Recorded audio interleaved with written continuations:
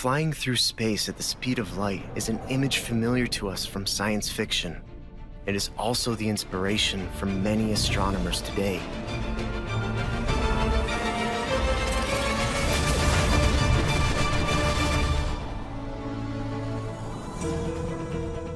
Through astronomy, we try and understand what our place in the universe is. My job is to expand humankind's knowledge about the universe.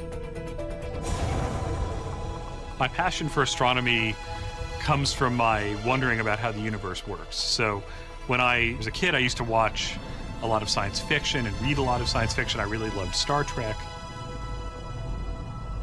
In Star Trek, they would fly around to another system and there'd always be, you know, teeming with aliens.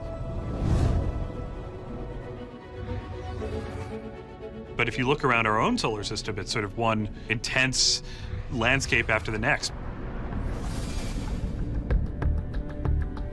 Places that look completely uninhabitable, like Mercury, which is a thousand degrees, or Venus, which rains acid, or Mars, which has global dust storms, or Jupiter, which doesn't even have a surface. And so I figured there has to be some middle ground in between these two. How does the actual universe work?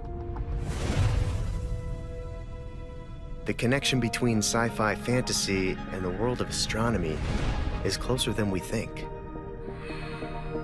I really was driven to understand how much of what we see on television and what people imagine is real. It doesn't have to be related to finding life on another world. It could be related to understanding how our sun works, or understanding how planets form, when the first galaxies turned on in the universe.